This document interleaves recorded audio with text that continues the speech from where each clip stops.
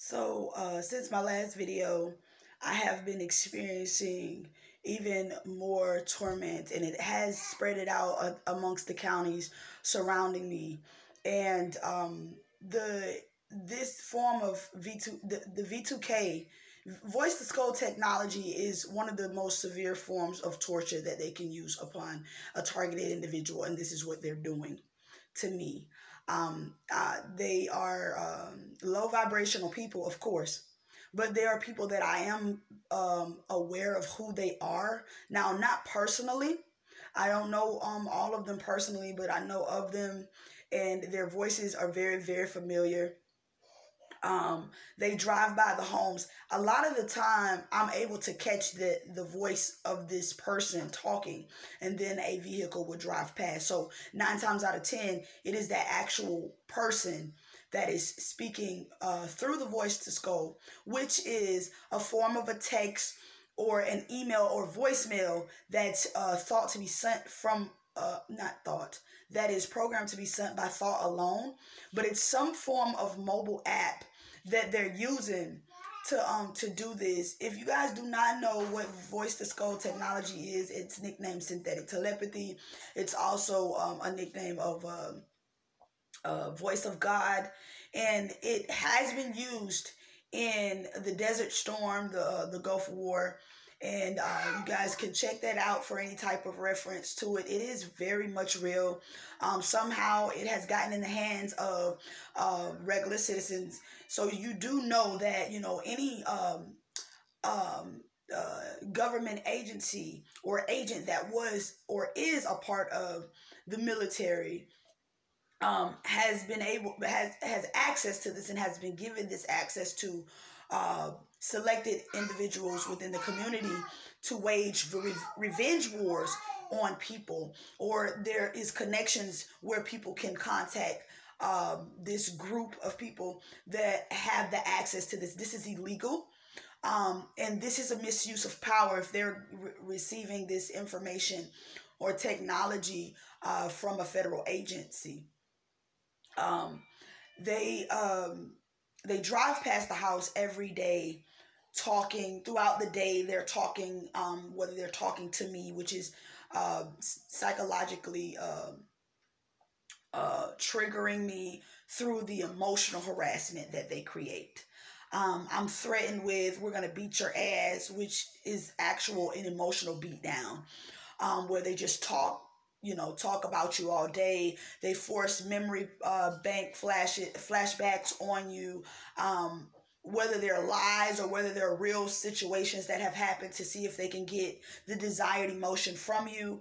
And then they talk amongst themselves to create to, to build on that. Whatever reaction that they receive from you um, that is negative they begin to build on that in hopes that it'll drive the person insane or to madness um, into violence um, so that they can get the person sabotaged either in a facility, a mental health facility, or uh, incarcerated. Um, uh, about a year and a half ago, um, I no, you know what? Just last year, in this same month, I was um, um, sent to a mental facility due to the harassment in my old apartment. And uh, this was before I became aware of the voice to skull technology, I just knew that it was uh, called electronic harassment and that people were driving by each day or the surrounding neighborhood um, that I was living amongst had participated in this form of harassment.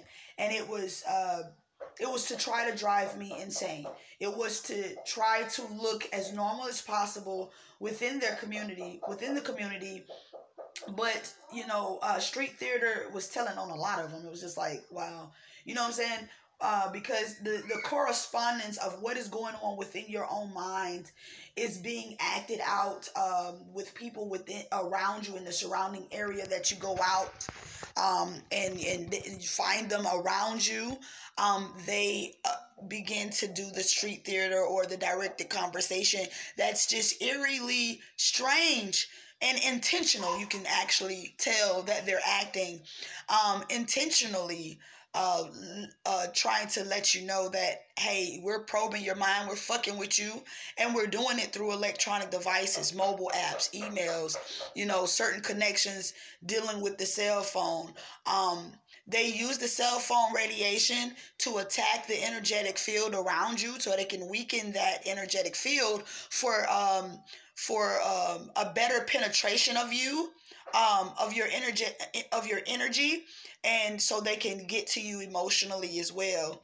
Um, what what i don't seem to understand is why would someone want to create hell in somebody else's life you get what i'm saying? This uh, i grew up in a very religious family and community and you know to become an adult and to find out that there's a program uh, such as this and uh, they're participating in it. majority of the ones that I thought, you know, spiritual leaders, uh, people who were very prominent in the church are a part of this or involved in some way, shape, or form, and um, either are forced to not speak on this or they are a part of, you know, orchestrating it but it was an entire lie. It was an entire lie growing up being told one thing. And that's where the form of control starts. The, the programming begins. They want to program you as young as a child. So in hopes that as an adult, you don't grow up to steer uh, steer away from what you've been taught, aka programmed and if you have, that it's fear tactics that are already set in place to kind of put you back in line. But um, some of the closest people that I have encountered with, have shared intimate moments with, or uh, have shared um, uh, uh, friendships with, have done business with, um, as far as like work in the workplace and things as such, are all participating in this. And they're hoping that if they do enough of this form of torment or torture to me that they uh, can get me to, they can successfully sabotage me and um and and place me in in another facility.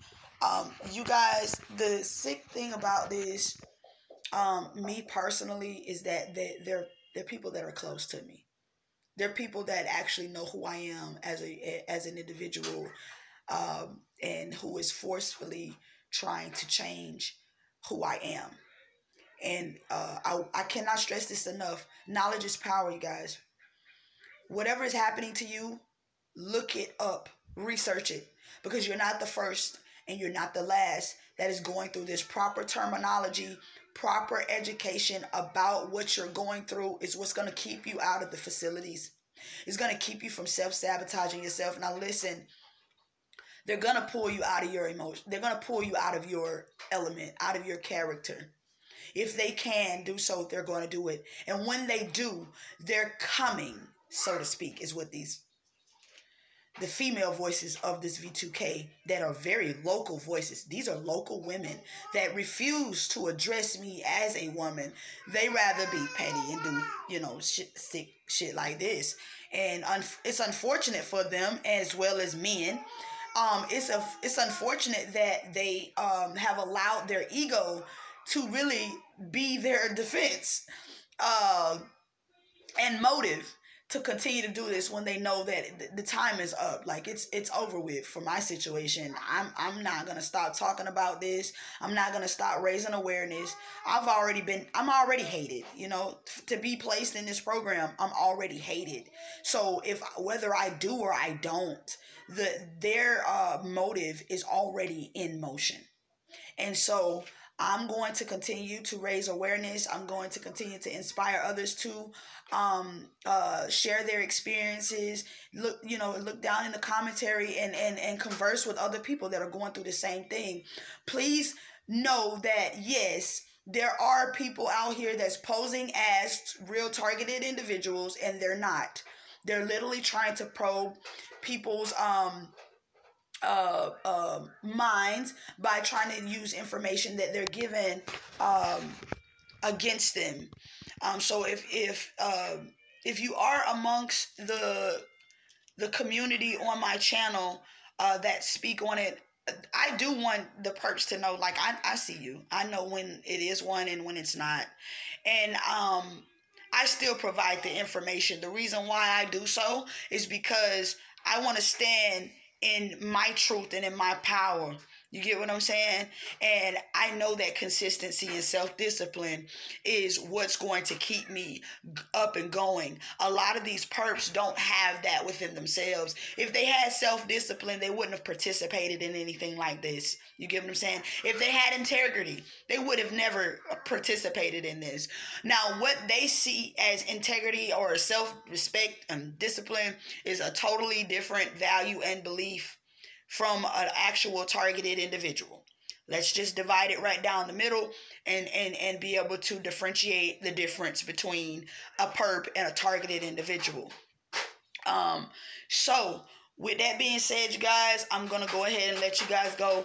I'm hoping that not only did I reach out to targeted individuals who are going through this extensive form of torture along with me, but I'm also letting these perps know like, I know you coming, I see you coming, and I'm already here. You get what I'm saying? And if you found me, where was I ever lost at, sweetheart? Okay? All right? All right. Peace and peace and um, protection to you guys. Bye.